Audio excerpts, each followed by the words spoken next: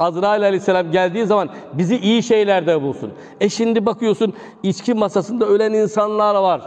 Yalan söylerken ölen insanlar var. İftira atarken ölen insanlar var. Kavga gürültüde ölen insanlar var. Cinayet işlerken cinayete kurban giden insanlar var. Baktığımız zaman ölümün ne zaman, nerede, nasıl geleceği belli değil ama namazda da ölenler var. Kur'an okurken de ölenler var. Ticaret yaparken, alışveriş yaparken de ölenler var.